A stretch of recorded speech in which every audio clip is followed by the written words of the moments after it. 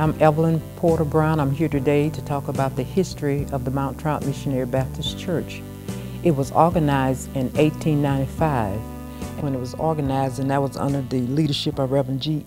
R. G. Gibson.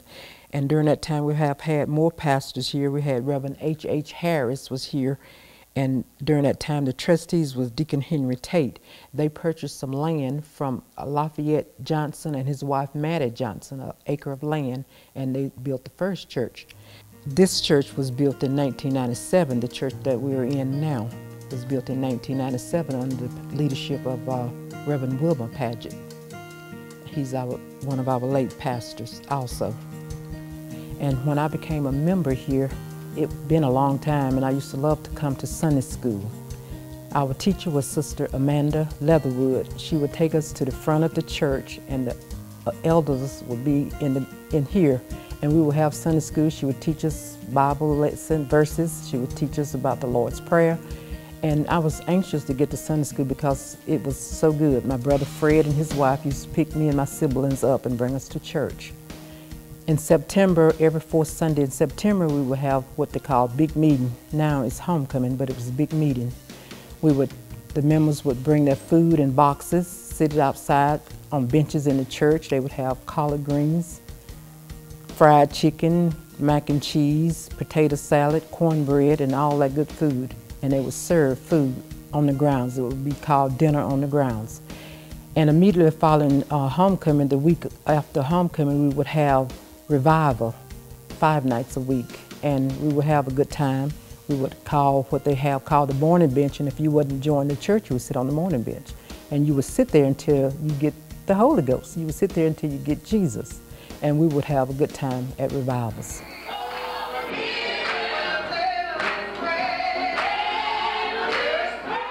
Back in uh, 1955, that year, I started living with my grandmother. And uh, she used to tell me about the history of different things. And back in those days, uh, they were farming and all, and uh, her daddy and her husband would be working. And they all, the, the women would come to church on Sunday. And it'd be a dirt road they had to travel. And the long way around, the better way around, it was about uh, eight or 10 miles. Then the short distance was around about six miles, but they had to cross a creek. They use a boat to cross the creek with. And they used to say, where y'all going to church at today? They didn't used to call it Mount Triumph. They said out on the hill. We, everybody know what out on the hill was. And uh, then they uh, come to the creek and they come on crossing and the the men and the other people would go back home and rest. Some of them didn't rest, but some of them went on and worked. But the men didn't hardly want to come to church. So when the thing changed around, so when the men wanted to come to church, the men got together and said, we're not going to be walking. So they started riding the mule, the buggy, and came to church. And they came all the way out on the hill out here. And when they came into church, they be humming coming in the church, clapping and humming. Wasn't no music, but they'd be humming. And uh, my grandma said, got back home, and her husband said, you felt good today. He said, yeah, I felt good today. Well, you felt better today than you were out in the sun. Yeah, yeah, because I was talking to the Lord. And, he said, what about the Lord? She said, I feel good about the Lord. The Spirit touched me today. And they would get in the field and go to humming, singing, carrying on, you know, and hot and all and they leave and go home and relax and cook and all. And then later on, uh, my mother used to tell me too, I'd go home to my mother. She said, well, it's a church right down the road there too. So we need to go to that church. It was close in the neighborhood. So all of them went to their church. And my uncle, my great great uncle, my grandmama brother, was scared of bad weather. And every time it would come up a bad storm, he would go to the church, little green church. And uh, so that particular time, it come up a storm, and he went to the church, and it was be the old type wooden windows. You had to let it up and put a prop on it for it to stay up. So it come up a bad cloud, and the rain and thunder so bad, so he didn't put the prop on it. and he, he threw the stuff inside the church, and he went to go in the church, and the window fell across his back. And he stayed out in the rain on it, this part all night long. So my grandmama said, she got up and said, mm, my brother hanging out the church. And so they went over there and got him out. And When they did that, he was so tired and wore, he fell over in the church. And then on, he respect what God did. He started going to church. Didn't have to wait till the bad weather come up. He went to church all the time right along with them. They didn't have to beg him to go to church. Hi, I'm Elijah Porter. Uh, I'm, I'm, a member here at Mount Triumph Baptist Church. I became a member here when I was a little boy. Uh, me and my, my sibling sister Evelyn, and my sister Rosie, and my sister Mamie, we all uh, came here, came to church here with my brother Fred and his wife Carrie. My mom was a member of another church, and, and, and so this church was right close in the community, and she wanted us to go to church. So she told my brother Fred, he was a, he was a deacon at this church at the time. He was a deacon here, so she asked Fred to come and pick us up and, and bring us to church because she wanted us to go to church on Sunday, make sure that we had somebody to go to church. And so Fred and Carrie would come every Sunday and uh, come on Sunday when there was church going on here. They would come and pick us up and take us to church. And, and uh, just like we were their kids. And we, we, we came here to Mount Triumph. Uh, and then we, we, uh, we was on the moaning bench when we had revival here. We, we, uh, we was on the moaning bench and we all joined church that week. Uh, became members of Mount Triumph where the, uh, the Reverend Clyde Cameron was, was pastor here at that time. And we was baptized at the creek, up at the creek on a Sunday morning before church. Uh, they, they uh, got together and we had baptism at the creek and then came on back to the church and, and uh, where we gave our right hands of fellowship and became members here at this church.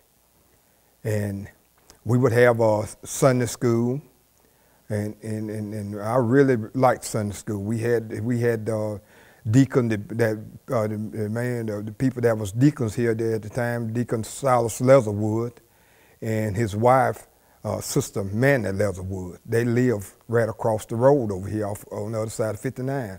They had property back there, and they live here, and they was he was deacon and, and his wife here. She was a school teacher, if I'm correct. So she was real smart. So she taught us the kid, the small kids Sunday school. We would go to the front corner of the church, and in the in the grown up uh, people, the, the, the all the members, they would have church up on have Sunday school on this end, and she would teach us Sunday school back there, and and we had to get up and read, and, and I liked that. Get up and read and try to read as you know as loud and, and read and, and, and get your words right. So I really looked forward to coming to Sunday school. Fred coming to, and Carrie coming to pick us up and bringing us to church.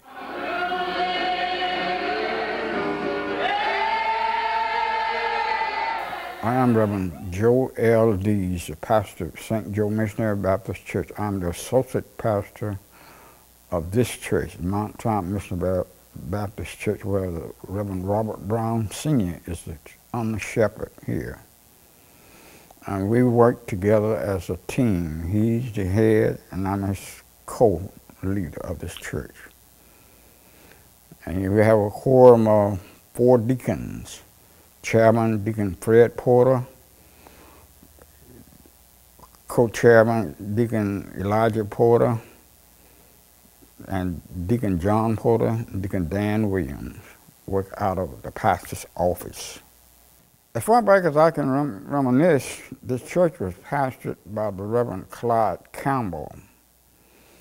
And at that time, this church probably was filled with more spiritual vigor than any church in Little River, black church in Little River at that time.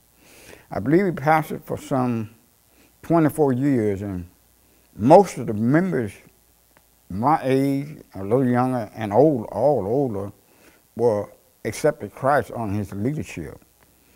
The chairman of the deacon board, Deacon Fred Porter, secretary of the church, the financial secretary, Sister Annie German, the secretary of the church, Sister Evelyn Brown, and the church sponsored a lot of singing events, quartet singing, mm, choir anniversaries, and so forth. And on the annual day, which is the birthday of the church, which we call homecoming, back then we called it big meeting for the simple reason that we didn't have the facilities that we have now uh, inside fellowship hall. They fixed food in boxes, set them on tables around the church. Each family had their own box, and visitors would come by, get them a plate of whatever kind of food they wanted being black, we normally catered to soul food, namely uh, black eyed peas, collard green, turnip green, butter beans, potato salad, etc., and chicken. Uh, Reverend Clyde Cameron pastored along with three more churches at one time, Abyssinia Baptist Church and two more churches in Clark and I believe uh, Conecuh County. After his demise came the Reverend Tony Pace, I believe. He pastored here for about two years, I believe, before he resigned, I believe. And after his resignation, the church call was in search, our pulpit committees went in search for a pastor and had different ministers come in and on a trial basis to preach to the congregation. Church voted and selected Reverend Wilmer Paget to be its pastor, on whose leadership this present sanctuary was built under. He pastored for 20 years, I believe, and coming down to his demise of his health, he had one of his feet amputated but he was still preach. He had a prosthetic leg. He knowing that his health was waning, in a conference here, he selected Pastor Robert Brown to be the pastor of the Mount Triumph Baptist Church, and he was stepping down.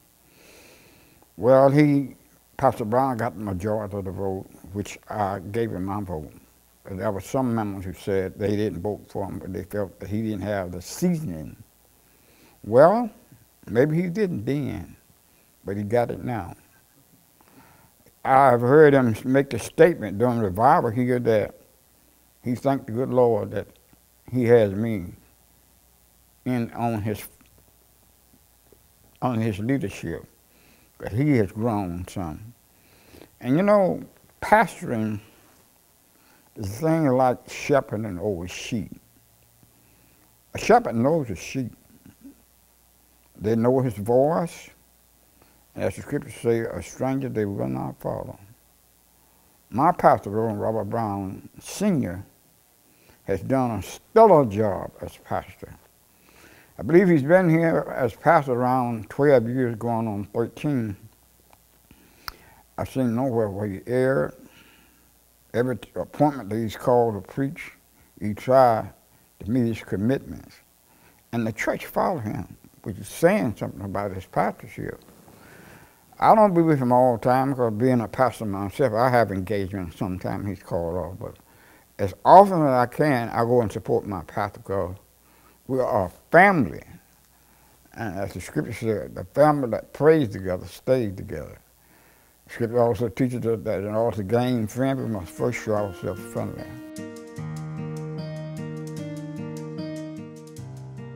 Hi, I'm Robert Brown, the pastor of the Mount Triumph Missionary Baptist Church here in Little River. And I just want to remember some of the things that about the history of the church. I remember when um, there was only one Sunday here. They only had one Sunday here. And what we would do would go around through the month, every month to each church. There was like four churches in the neighborhood. And every Sunday we'd go to each of the churches and visit them, and they would come to this church here too. And during that time there, we used to have a good time because people would come together and reminisce with one another and talk about things, you know, other, other things in the community and stuff like that. And I remember too that how people would help one another out because by being together like that and just on one Sunday, you get to know one another better. And you get to know what's going on in the neighborhood or how your child is and stuff like that. And I remember that everybody in the neighborhood was your parent. I mean, you mess up at somebody's house, oh, you get a whooping there, and then you get a whooping when you get home.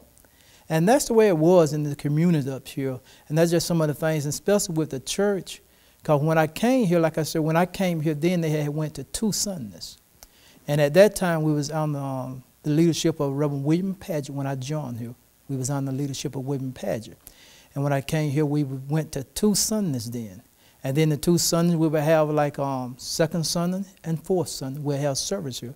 And then on the other Sundays, we would go to other church and still visit them. And it was just a wonderful time the way things were going back then and everything.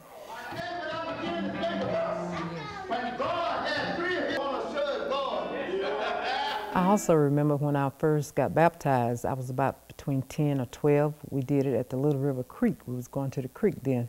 And we got baptized and then we came back and got fellowship in the church. Now we got a baptism pool in the church, so we've come a long ways.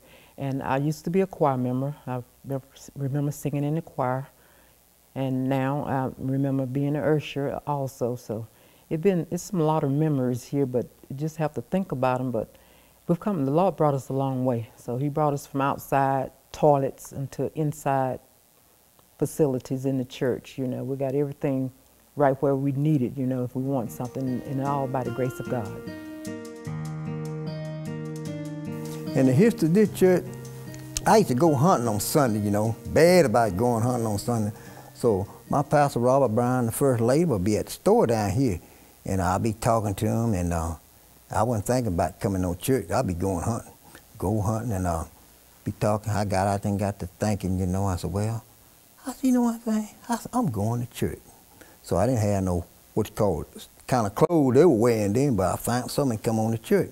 So I came on to church, and the people got up in the church, so having so much a good time. I said, what's wrong with them people? I said, they having a good time up in the church. I didn't know about no good time back then, you know, people singing, carrying on. So I came in the church, and when you do something like that, always be on time, because you don't want nobody looking at you coming in the church. You be in the church where when one of them won't see you. So I come on in the church and come in the church and I sit down on the second pier, that second Sunday. I sit there and sit there. And uh, church over with, and I went back home. I said, hmm, they had a good time today. So I came back the full Sunday. Ranked on, ranked on, and started talking to the Lord about it. I said, Lord, I said, I need to change because I was a DJ. When I was making money then, God wasn't helping me. It was my money. I wasn't giving him no respect, you know. So I came on to church and ranked on in about about a month or two months. And Deacon Fred Porter, I said, Deacon, I said, guess what? I said, I'm going to help you today. He said, you going to help me today? I said, yes, I'm going to help you today. They doing, it, uh, doing devotion. So there were two more ladies helping him, and one of them said, his sister hmm, take my place. So I come up and started helping in the church there, you know. And uh, so we having a, having a good time. Then when I became a deacon, you know, they got me be a deacon, and they getting the people up there. You see, was I ready for a deacon, though? And a lot of them come and say, hmm, I thought you already was a deacon. You've been working there where you go. I said, no, I've been talking to the Lord. Am I ready for this job? So the pastor asked me, are you ready? I said, yeah. I'm, I'm ready. So we come on and I joined church and they asked me I've been baptized. And I can't remember. I thought I would, but I didn't. I asked some older people, said, no, you ain't never been baptized. So they baptized me. And then uh, after baptized me, I come on, start doing all I can wait for the work. And I never forget this particular time we were having a, a big meeting around here. It's some preacher from out of town, so I don't know where Mobile, Pensacola, was up here preaching. He got through, he said, Pastor, you need to get something to preach on around here. Because, you know, it wasn't that very loud. So you need to get something. And I heard what he said. When he got through uh, saying that, and me and the pastor talking, I said, Pastor, I said, I'm going to surprise you. He said, surprise. All I said, I'm going to surprise you. So I went on to Monroe, the music center, and put your PA system and brought it and installed it in the church.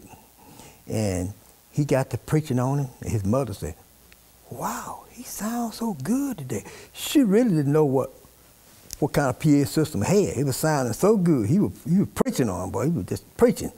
And uh, some of them said, he need to come down on a little bit. You know, he, he the Holy Ghost, he get loud and loud and louder, you know. So we did. We, we worked on that.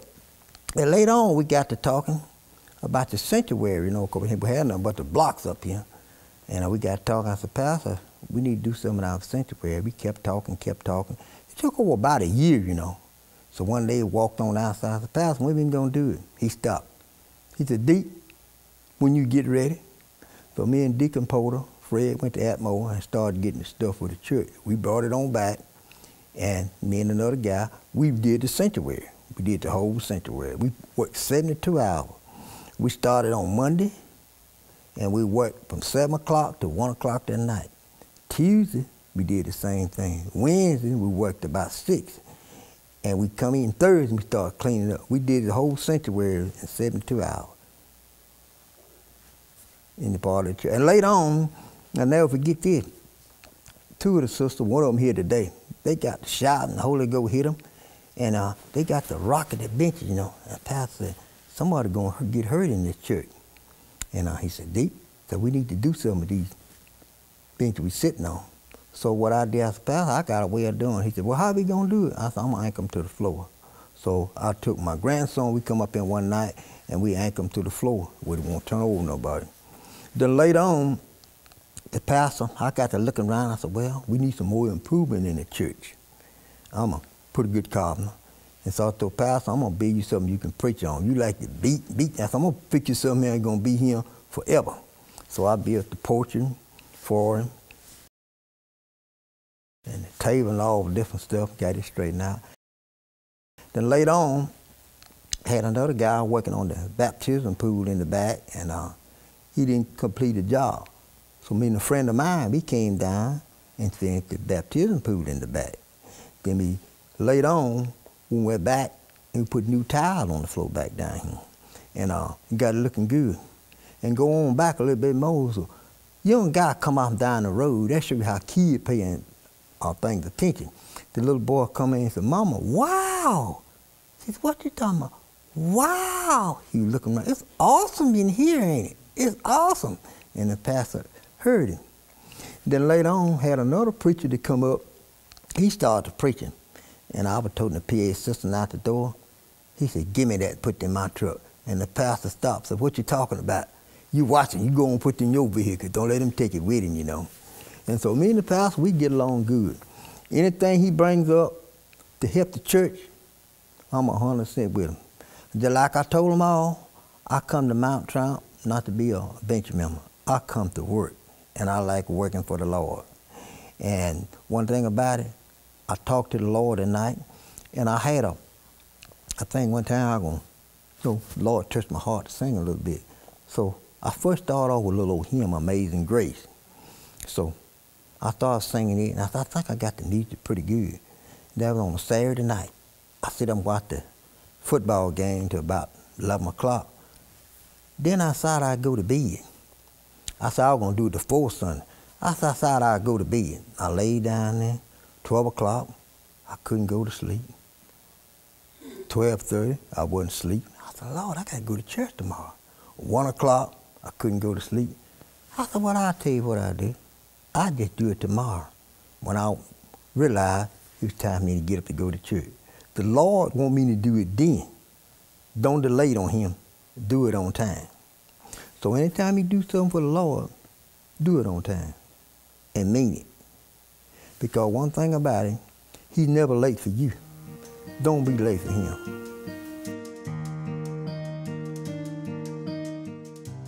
Like I say, I was a member here as a child, as a child and I stayed a member here until uh, uh, the 70s. And I, I left here and, and went to Detroit uh, when I was about, uh, about 21, about 22, somewhere like that. I left and went to Detroit in 77. And I came back in 79.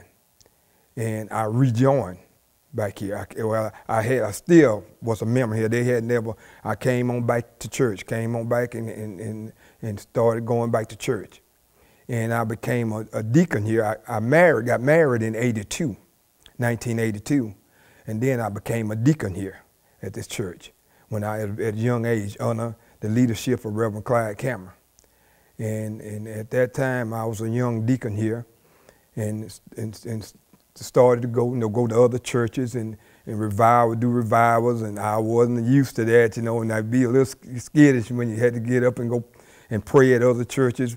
But I, I did, you know, my, I, I did my job. I, I'd go and we, we be in revival at other churches. We go to homecomings, like I at other churches, or uh, whatever was going on. We would, uh, we would, we would go in and, and, show and go in and, and represent for Mount Triumph. And, and so I, uh, like I say, by me being a deacon here, so uh, Reverend Clyde Cameron, he, he, he passed on. He was, like I say, he, he deceased while I was a deacon. And so we, uh, so, so we, we moved on. We had the Reverend Tony Pace came and we, we, we, we called him as pastor. And, but he didn't stay long, but he was here for a couple of years and I was deacon under his leadership. And then after him, Reverend, uh, Reverend Tony Pace became our pastor. And uh, we, he was our pastor for a good while. And like I say, I was the deacon. I was a deacon under, under his leadership. And uh, we was in the old, what we call the old building, older building. We had a building here that was built in 1946, if I'm correct. And so we was, as deacon here, young deacon here, we was uh, in that old building and, and when people we'd have, we'd have stuff going on. We didn't have air condition. And I was kind of embarrassed. And I prayed to God to help us, you know, get us, get a, you know, you know, get us, get us a nice building for us to tide, people to come and tide so that we can get a, a better building and all. And so God, so I prayed and I prayed, and I'm serious. I prayed to God. God blessed me. He started off by blessing me to get a good job. I married in 82 and 83, I got a job. I came back home. Let me bag it up. I came back home to my mom and my dad, and I felt like they needed me. And I was young. I came home, back, came back home to them, and so I was staying, stayed with them. Then I got married while I was there in 82, and I was there overseeing, seeing my mom and dad, taking care of them. And uh, so God, I prayed to God about the church, about us getting a, a new, a, a better building and all. And, uh, and so in 83, he, he, I got a good job. I got a job at Scott Paper Company. And, and so he, he blessed me to get that job at Scott Paper Company in 83. And, and, and, and so in, in, uh, and that was in October 83. In 84, I was working at this wood yard down here. That's how God had blessed me. They had Scott, you know, Kimberly Clark with Scott at the time. They put in wood yard. So I worked out of Monroe for a year. And by the next year, that they was putting this wood yard in, and I had prayed about that job. So I asked my boss lady, and she said, "I said I'm gonna put, I'm gonna bid on that job." She said, "Okay, I'll put in a good word for you. I don't know if you'll get it." I got the job. They, by me living right here, they give me that job on that wood yard. I started operating a overhead crane and loading trucks, and I worked there, and and, and I prayed to God for us to get us a, a, a nicer building, and God, He fixed things. We went to the bank, man as, as a deacon trustee, me and uh, uh, my, my, first lady Evelyn, my sister Rosie, uh, Reverend Robert Brown, he, which he was a deacon here at the time. He became a deacon. He became my brother-in-law and a deacon here at the time. And so we all went to Monroe. I went up there and the guy told me, said, bring the trustees and bring, see, uh, he was young guy, about 26. He said, I'll help y'all. Said, I'll come back through. I'll come through there. I'll see that church. Say, I'll help y'all and he helped. We got some money, and that's when I was the overseer of building this building. And we built this. We, me and me and me and Deacon Robert Brown, and and I feel like I said, what we got to do? We got to tie this old building down in order for us to get started with, with something else. We got to we got to get this. We got this. So me and Robert came out here, and we started tearing that old building down. We come out here and put ladders on top of it, tore the tin off, where we can get down in there, and we tore this building down to the ground. And, uh, and, and then we started, when then we, we had fellowship and we had an addition, we had added on to the old building. And we, we started, had, we, had, we moved the bench and stuff back in there and started having church when Reverend Tony Pace was pastor. And we had church out of that building while we started construction. This old building it was under construction. This building was under construction, and I was, like I say, I was the overseer of the job. The, guy, so we had a guy that was a bricklayer that was right around in this community that that a lot of people knew, and he came in and uh, and built this building, and I and I was the overseer right here with me and Robert Brown. We was the overseer, and we came was right here and made sure that thing was done right. And uh, so we built this building, and God blessed us, and He blessed us with, with to get pews, and He, you know, He just kept on. He's still blessing us right now, and uh, he, just, God is God is awesome. And I'm gonna tell you some things he, that in, in '83 that he, when I got the job at Kimberly Clark, I was out there in the woods. I, I got to put this part in. I was out there in the woods that evening, and uh, when I got the first day on that job, and I was out there, and I was I, I, was a topping man. I was topping trees. Man, the guy that was cutting down, he's cutting the tree with a, a, cutter, and so he was way over there. So I was I sat down. I said, Lord, I said, I know you did it for me. I said, I, am not doubting you. I said, but if you just show me a sign, when I said that, the moon say, just like that. I said, but I just started crying. And so you know, I know God in the pardon of my sin, and I know He's real, and and uh, and so all you got to do is ask Him and be sincere and, and ask Him and, and for anything that you want. And God, He'll fix it for you. So, uh, uh, so it's a, the history here is, is, is, is an awesome history. And, uh, and it's, it's, it's uh, you know, it's been, it's been great. And, you know, we, we, we know that uh, one day we have to leave here. We know we just passing through. But, but the journey has been, been great for me. It's, it's been great.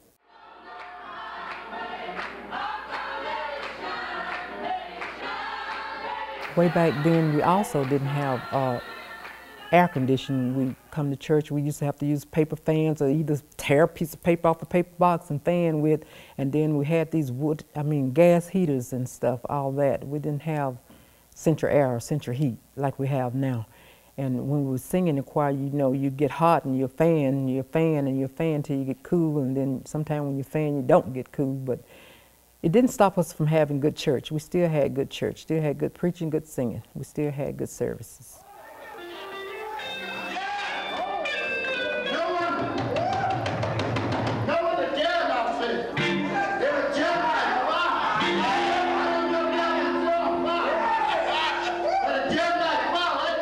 And my wife, she was going here and everything, and we knew one another in the neighborhood and everything, and she used to live kind of up the road from me, and I lived kind of down the road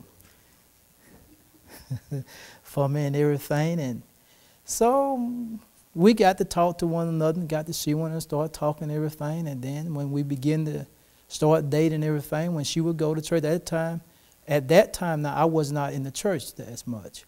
And she would come home and they would talk about how good church was and all the things that took place in church.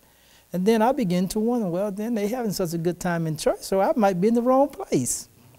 I need to go to church sometime.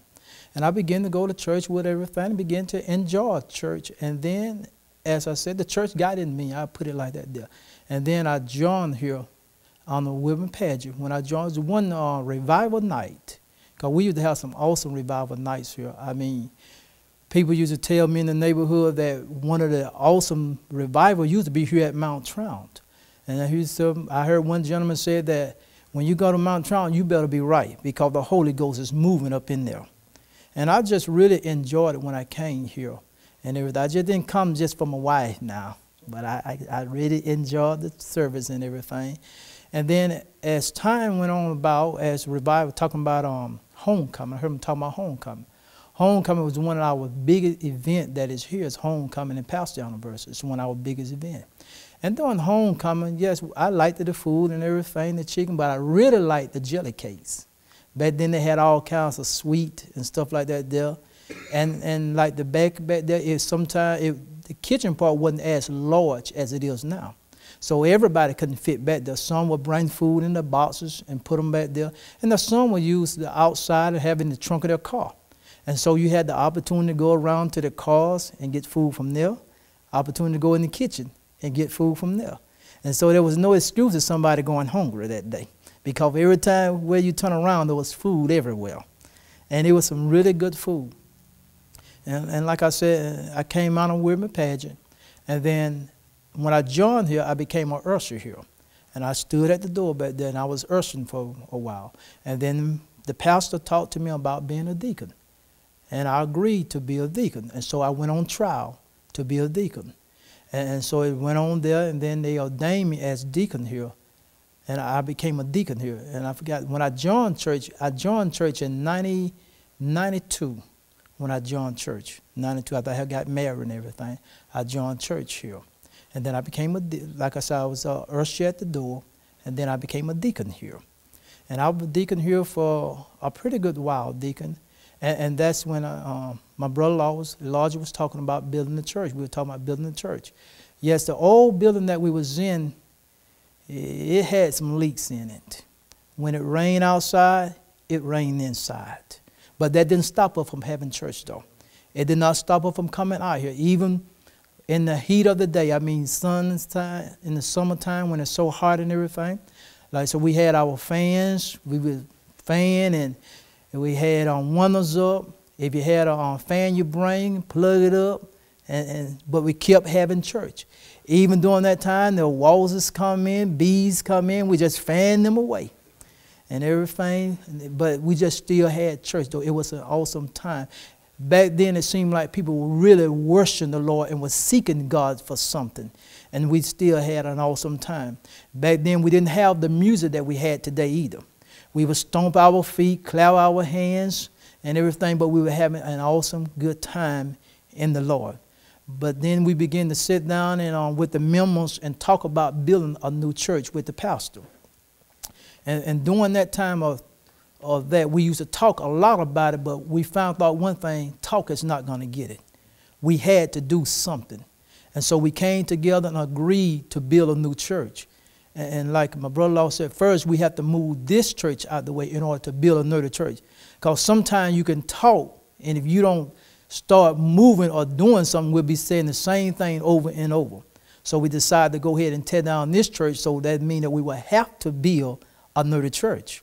And so, like I said, when we, um, after we had two this church down here, we were having church in the back. And it was a small area back there, but it brought us more closer together. And, and it brought us that way we know what we want to do.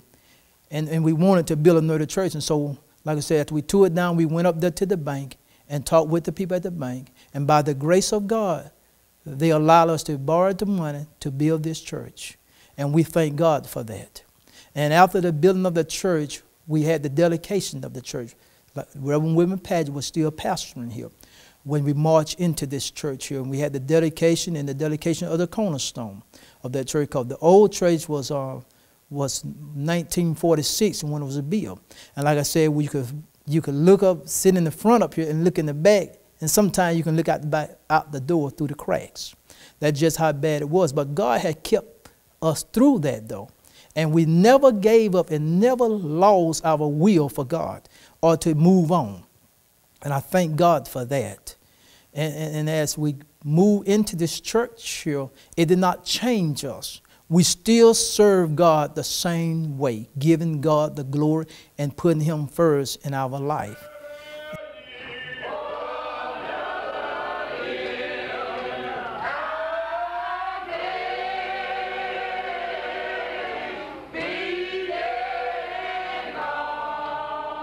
Well, we we have good revivals every year. The pastor has made a commitment to ask a minister out of Mobile County. Uh, he's talented with spiritual gifts to expound on the Word of God, and has a great singing voice. He can sing that draws people to Christ. He's been doing that since the pastor's been pastor been pastor here. And people from as far off as Atmore, Mobile, Eliska, Uriah, At, Atmore, as even as far south as Foley, come to our survivors. I believe this church is a church on the move.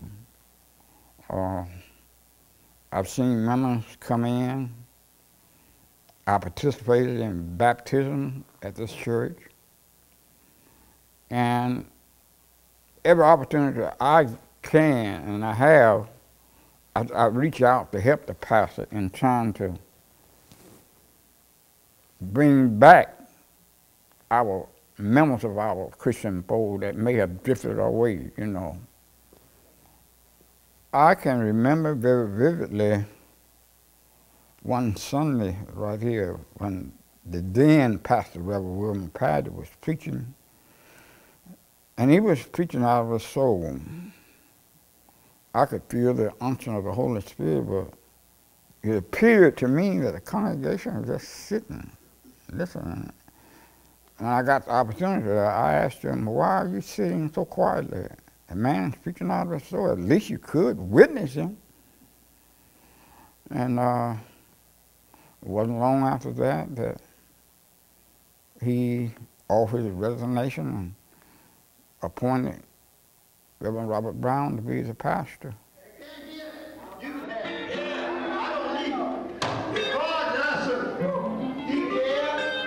Reverend Padgett, um, his health began to fail him. And during that time, the Lord has called me into the ministry. And I accepted my calling in, into the ministry 2002 when I accepted my calling into the ministry.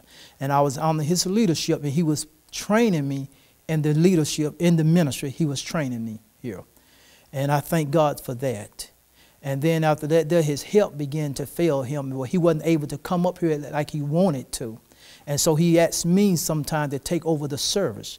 And I would take over the service sometimes. Sometimes it'd be months that I take over the service because his health was failing.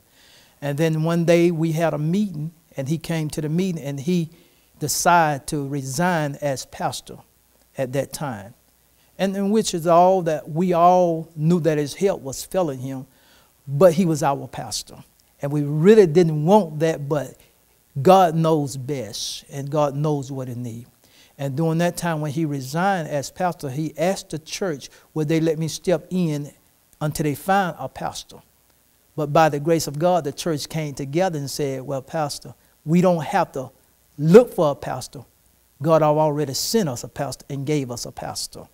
And they asked me what I take in, take as leadership as pastor here at Mount Triumph. And I told them it would be an honor for me to do that. And I thank God for that.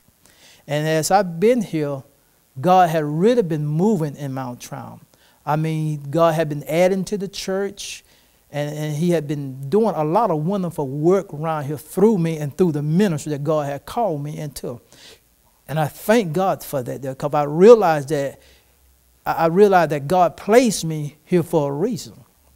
And I also want to remember about when I got baptized too. When I got baptized, we didn't have a baptism pool here. We went up there to the, uh, the creek at about a mile and a half, about a mile and a half from here, Little River Creek. And we all would dress up in our white. And we would march down there to the creek. When we drove up there, we would march down there to the creek. And the pastor would be standing right there in the water. I remember he would be standing right there in the water.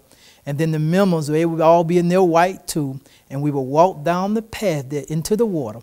And then the pastor would baptize us into the water and then we would come up and come off.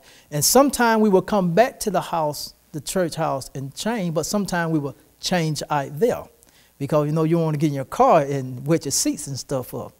So we would, would do that there, and then we would come back here and we get the right hand of fellowship. Here, it was just an awesome time how we used to do it now than now than than what we used to when we have a baptism pool now. And by having a baptism pool is a plus to the church too, because Back then, now that water was cold in the wintertime going being baptized. It felt good in the summertime now, but in the wintertime, it was cold. It was cold. But now we have a baptism pool with heated water and everything. And since I've been here, I have baptized several people, several members of the church here at Mount Triumph. A lot of the youth have been baptized back then. I have baptized some of the adults here at Mount Triumph, and it's just a blessing to be a pastor here at Mount Triumph and just to know the history, how far God had brought Mount Triumph a long ways. Cause sometimes I think about how far God has brought us. Cause I, I look back sometime and I remember when the road was was just a dust was a dirt road. And well now the road is paved coming into the church. Sometimes there was mud holes out there that you had to kind of walk through and, and everything. But now is paid and everything. That just let us know how far God has brought us. And, and from the history, if we look back how Mount Triumph was in today, and we look forward to where God is going to carry us. Because God is not through with us yet. He still has more things for us to do here. And as I was talking about the baptism pool, like I said, it's a blessing there because we have a heated pool now. And now when I go and take someone down in the water, it can be in the summertime, it can be in the wintertime. You see, we don't have to wait no more until, because a lot of times we will say, well, let's wait until the to, uh, warmer weather because we don't want nobody to catch a cold now. And so we will wait, but now we don't have to do that there. And it really had been an enjoyable time because I remember like we would go to baptism, we had to find a deeper spot to baptize them because sometimes the water is too shallow. We have to dig a hole and baptize them in. And it just let us know how time has changed, how far God has brought us. And also, as I look forward to the future, I just believe that God is going to carry us a little bit further than where we are today. And I believe that as long as the church is following God, that we will see magnificent things that God is going to do for the church. And not only for this church, but also for the community in the area here. Yes, we may not be large in numbers, but we're large in heart for the Lord. And we do all that we can for the Lord. And I just believe that God is going to carry us a little bit forward spiritually in the church. And, and what I'm talking about spiritually, that we learn more about God, more about what He want us and what He want for us and what He expect us to do. Because as I as I look forward to the church here at Mount Triumph, I can see the church is one of the future church that somebody can go to and get release and get help. You see, we, we may not have a um, food bank right now, but we're working on something that we're working on for the church. There's a lot of um, things that we want to do for the church, but we're, we're working forward towards that. You see, because I remember the time when we didn't even have a van, but God had blessed us with a van, that we had to pick up people in our cars, and when we go into a nerdy cage engagement, we had to pick up people in our cars and take them with us. But now God has blessed us with a van that we're able to go around and pick up the um, members or the members meet up here at the church.